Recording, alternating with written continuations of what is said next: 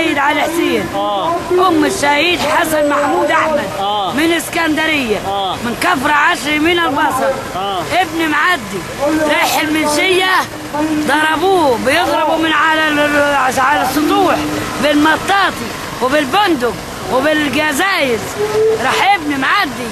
ده واحد مطاطي. اتضرب.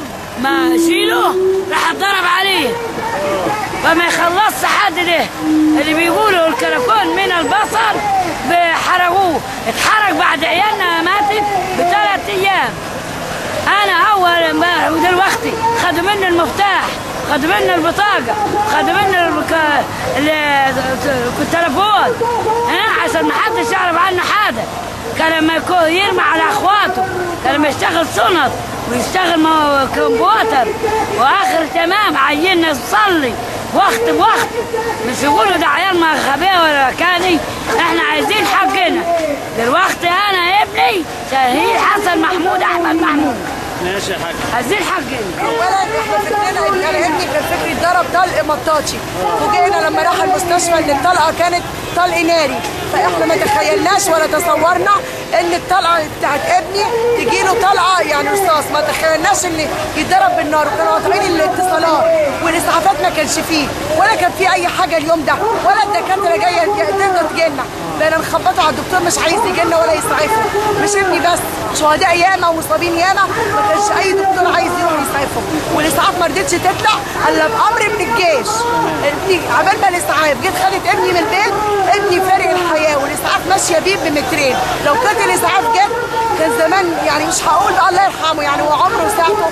بس اليوم ده يعني المسؤولين دول حسني مبارك وحبيب العدلي ونظيف وكل دول لازم يتحكموا بالإعدام في ميدان عام عشان نار نار أهالي الشهداء تبرد شوية. أنا من اسكندرية أنا من اسكندرية من رمل تاني وائل الكومي وكله بيضرب كان على السطح ولما جه وائل الكومي بيبرأ نفسه يقول ان أنا ما ضربتش. وابني ده عنده 19 سنة. أبوه إيه؟ يا حاج؟ اسمه متوفى اسمه محمود إسماعيل عبد الكريم الصناديطي اسكندرية؟ آه من اسكندرية. من شارع مصطفى كامل.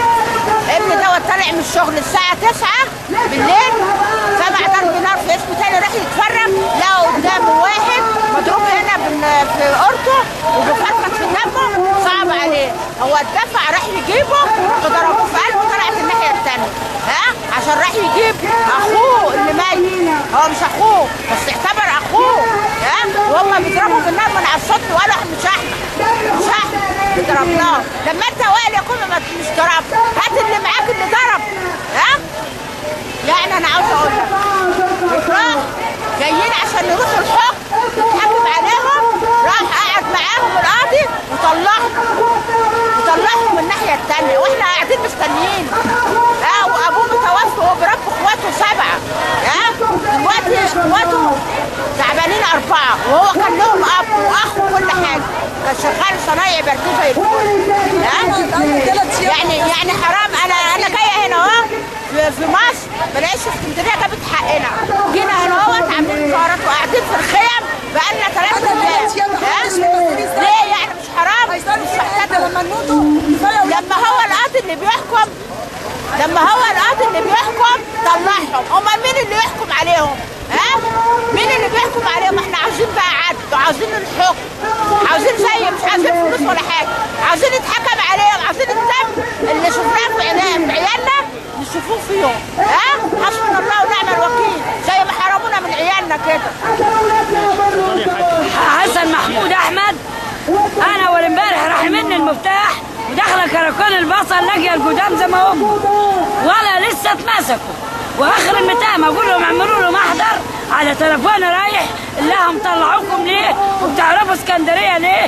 والناس بتبني وإحنا ميتين.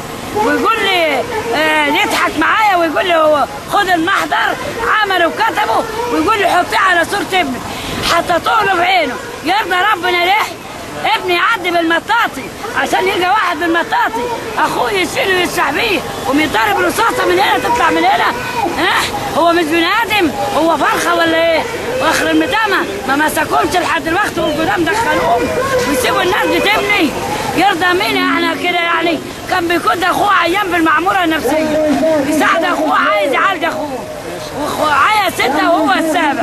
خدوا منه البطاقة خدوا منه المحمول خدوا منه المفتاح. خدوا منه الفلوس. يعني إحنا جايين كمصر عشان نشوف حقوق عيالنا بالطريقة دي يعني ندردم مسمين عيالنا ولا حد والدي بالمستشفى. واقعد أنا هنا. وعيالي متلقح في البيت عشان أنا أجيب حق عيالي وأبوه عيان بالجلطة ما أقدرش أجيبه. يقح في السكة. يمكن حزبنا الله ويعمل وكيل.